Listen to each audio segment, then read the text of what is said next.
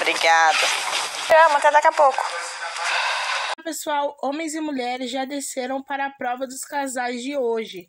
Eu já quero pedir para você que está assistindo deixar um joinha que é muito importante. Cinco casais que vão participar da prova hoje estavam bem ansiosos para esse momento, principalmente o casal Brady Matheus e o casal Haddad e Lu, que estão com o pé na DR pelo saldo das últimas provas.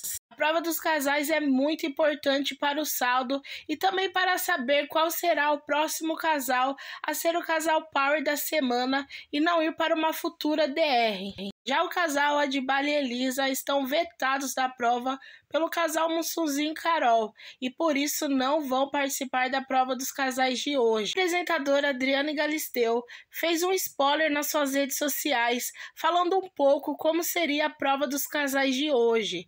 Ela disse que a prova vai ser numa área externa com muita água. Ela disse que o lugar tem piscina e que os casais vão se divertir muito na prova de hoje. Então eu acredito que assim como as outras provas de casais, essa prova vai ser muito longa. É porque a produção já levou almoço para os casais mais cedo, dando sinal que a prova seria bem longa. Deixe aqui nos comentários quem que você quer que vença a prova dos casais de hoje.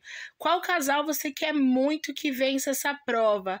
E também qual casal você não quer que vença essa prova de jeito nenhum? Já que o casal que ganhar essa prova, se tiver com um saldo muito bom, com certeza será o casal Power da semana. Se gostou do nosso vídeo, se inscreva no nosso canal e ative o sininho para receber todas as notificações de vídeos novos que virão. Fica ligadinho aqui no nosso canal que daqui a pouco eu trago mais informações sobre a prova dos casais de hoje.